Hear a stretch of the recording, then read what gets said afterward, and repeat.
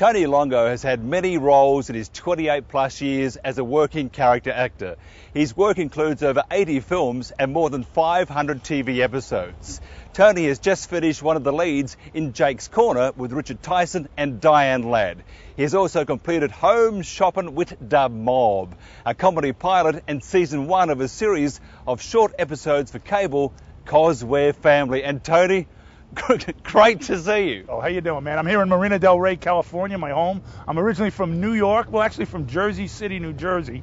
Came out here like uh, 28 years ago, started acting, and uh, the bottom line is 28 years later, man, I'm a character actor. I love what I do. I do. I've done like 80 movies, and and I think the key is you got to love what you do, and I love what I do. I was just complimenting Michael on. A, I noticed his accent. I thought he's from New York too, right? Yeah, I'm New, New Jersey. New Jersey. That's like yeah. I don't miss that accent. You can't you can't put one over on me. So why acting? Why acting? I don't know. What else was I gonna do? I don't know. I think I, I fell into it, and it's like, it's just something I I, I, I came out here on a on a, a, a just a, a thing in the dark, and I tried it. You know, I packed up from New Jersey, came out, and back then the times were different. Like it was, you know, yeah, you went on all these auditions. I paid my dues. I went out. One of the first jobs I got, I was on Alice Mel's Diner. I was Artie the Cop. Then I did uh, Splash, the movie Splash, 16 Candles. I was rocking 16 Candles 26 years ago, man. That's how how much time flies. You blink and it goes by. And then what else I do? Feds. And then I did uh, First and Ten with OJ for like seven years on HBO, which people still recognize me from. And um, that's it. Now I just keep, you know, I work all the time. I got a great movie coming out called Jake's Corner. All right, an independent. That's what's going on now. Is I've been working for so long. Everything I have, I own. I got a place back east, a place here. I love, I love LA. I mean, how can you not love this?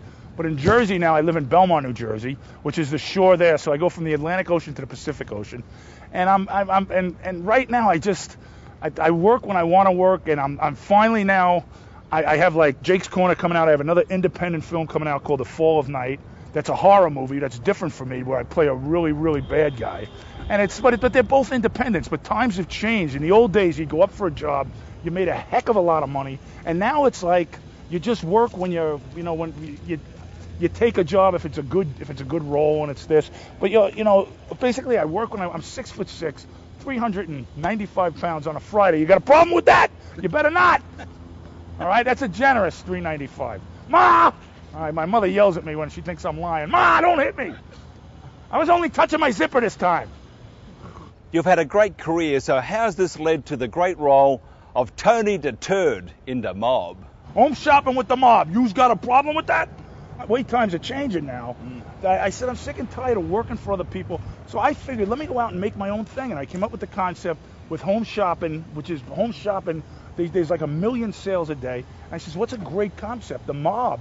So it's it's me and it's uh, Frankie Cassavetes, who's Nick Cassavetes' brother, and we're, we're both out of work mob guys who now go on home shopping and we sell like baseball bats and cinder blocks and like uh, fishing line, but but we don't exactly say what they're for. Mm. You know what I mean? Like we have a rug that that we're not going to say you can accidentally put someone in and use your shovel, you know, in the backyard to dispose of the rug that someone might accidentally have fallen into before you dispose of it. But anyway, we go on home shopping and we sell all this, and it's Tony the Turd, and then he's Buddy the Blister and we're two like misfits who live together, but it's a great concept. And we came up with it ourselves, and I went out and over the course of a year, we shot this. We shot it. We started shooting it in small, like little shorts, like short episodes. And then in the end, we took all of them, we put them together. We made a 22-minute pilot. Right now, NBC has it, TNT has it, and CBS, and they have NBC has first right of refusal. So we're gonna go, you know, we're gonna click them off. Hopefully, I believe by just the premise in this, someone's gonna buy this. But it's something we did on our own. We came up with, and Tony the Turd is like, it's a guy. He's he's hysterical. He's he's like every uncle. Everybody has a Tony the Turd uncle. Like he's Tony the Turd. Hey, baby, what are you? What are you? You talking to me? You got a problem with that? Hey. Tony the Turd's communication skills are outstanding. So can Tony the Turd give us some advice in communicating with say your customers, with the public? Speak clearly, look the person in the eye, um, and make an offer you can't refuse. no problem there. Thank you. So you're very convincing.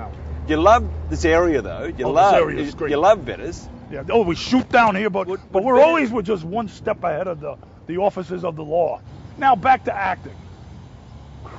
Christ, do I have to do this whole interview myself? Just chime in whenever you want, Michael. No, sir. Okay, Yes, sir. all right. But anyway, with the acting, I, I got a 15 year old daughter and I got a three year old.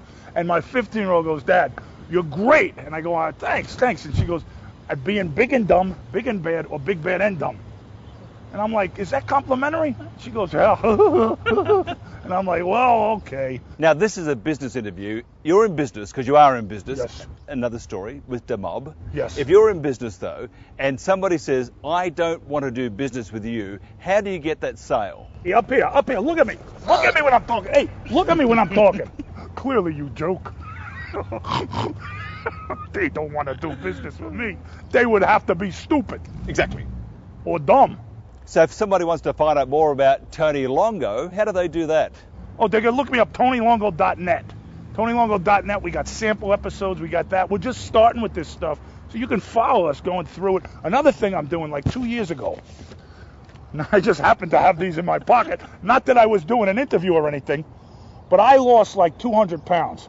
Now I'm going to lose 200 pounds on film, and you guys can follow it. So it'll be like, you know, it's just the beginning here. So this is a nice beginning of a relationship. I just hope that you doesn't do nothing wrong that would cause this to come to an unforeseen ending.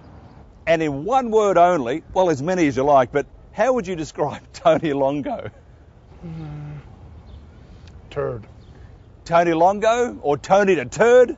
Thank you very much. Thank you so much. Welcome and uh, stay with us, man. See where we go. It's, it's going to be a journey. It's going to be a long journey, but it's going to be a well a well journey. So jour- journey, journey with us. Well.